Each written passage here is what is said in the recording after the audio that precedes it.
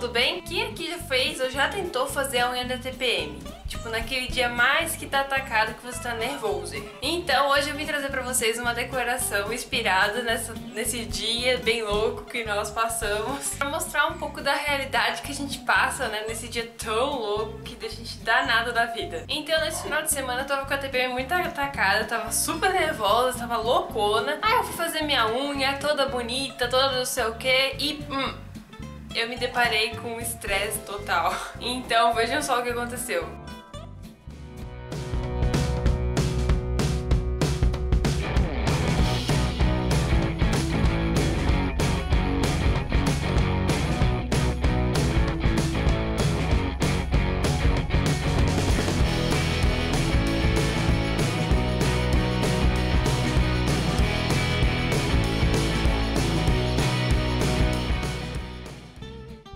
Eu só tiraria esses riscos na vertical que eu fiz no início, porque realmente eu ia fazer uma decoração.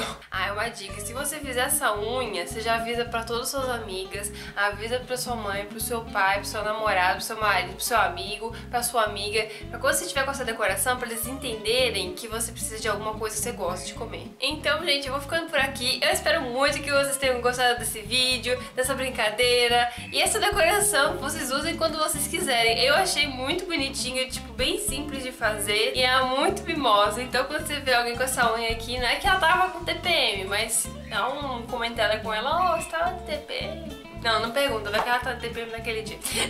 então, fiquem bem, gente, fiquem maravilhosas. E desculpa o eco por aqui, né? Porque, ei, dá um eco, né?